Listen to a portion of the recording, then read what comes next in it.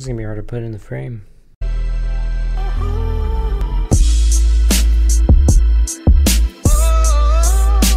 Hello everyone, welcome to my channel. Today's video we'll be taking a look at the Vori gaming backpack. You can get this for about $60 on Amazon. I'll throw a link up in the description.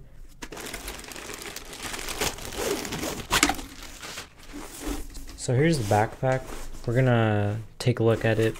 So we have an official tag from Vori. First pocket has a nice ergonomic design and it folds out about halfway. So as you can see, you have a lot of room here for anything you want, like cables and stuff. Or maybe non-gaming related items in here, if you would choose to do so. So that's the first pocket. Top of the backpack, we have this little glasses or a quick access part. You have blue light glasses, you can put them in like this or something.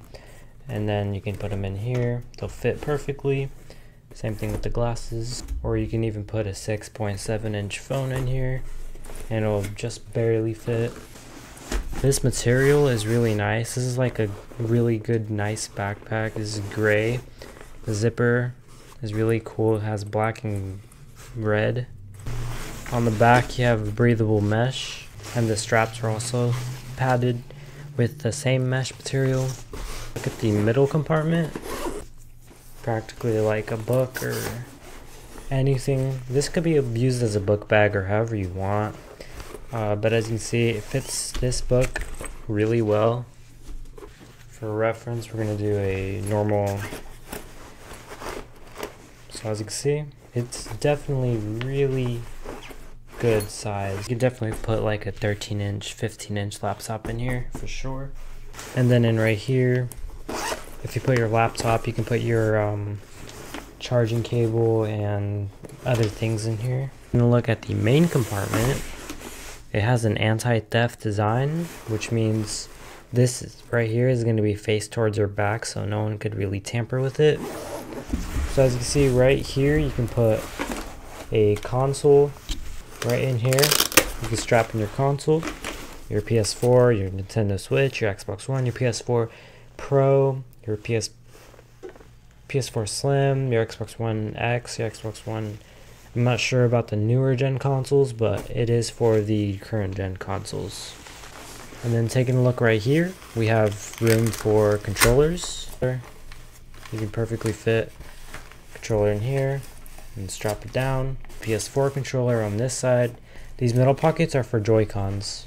So you can put Joy-Cons with the Joy-Con straps in there which is really cool and it fits nice and snug in here as well so it will not move around which is really cool right here would be the Nintendo Switch dock right here you can put like a power cable more HDMI cables or whatever you want just cables right here controllers up here charging station up here or just cables in general or you can even put another Xbox controller or PS4 controller in there pack this thing with a ton of different accessories and get back to you. Now, I apologize for the very horrible lighting, but I packed this thing to the brim.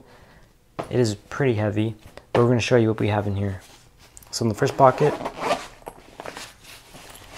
we have a 20 foot Type-C to Type-A cord. We also have a 20,000 milliamp power bank. So that's in the first pocket. The middle pocket, we have a I think 11 inch uh, Chromebook. It's pretty small. This is my school computer, by the way. Everything in the middle compartment. On the top compartment, we have the uh, Samsung S20. This is a clone, by the way. Honestly, I probably could have put more stuff in here, but I didn't really know what to put. It's so first up, we have a gaming headset. This is the Tritton ARK 100. These are, this is a really big headset, so we have some physical games, in case you're one of those people that actually still uses discs.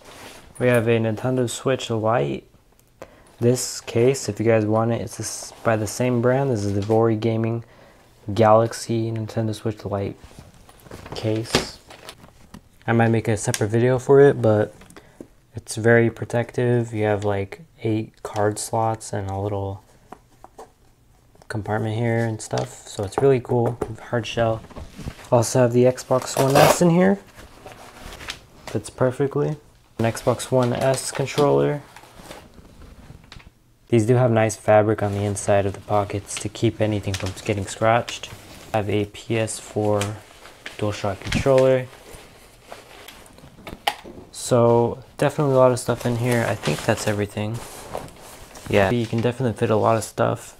Practically packed everything I normally would and I didn't include most of the cables because I actually removed it from my setup just to make the video. Definitely packs a lot for the money. 60 bucks and you get to be able to pack a PS4 Pro, an Xbox One S, uh, Xbox One original, anything you have gaming related you can put in there. Of course it is mainly designed for the Nintendo Switch.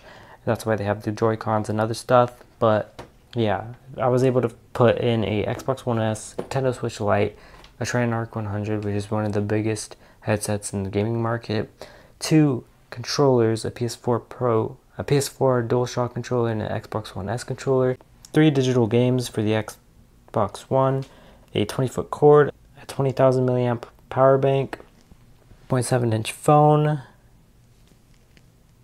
and that's pretty much it. But I was also, I could also fit the cables for the Xbox One if I wanted to. It's easy. It's only an HDMI and a power cord, so it's really easy. But anyways, 60 bucks, definitely worth it. This gaming backpack is definitely worth it. It has nice, nice materials here. Very nice materials, very nice backpack overall. I'm definitely be using this whenever I go traveling eventually in the future. So yeah, thank you guys for watching. Link is in the description to buy.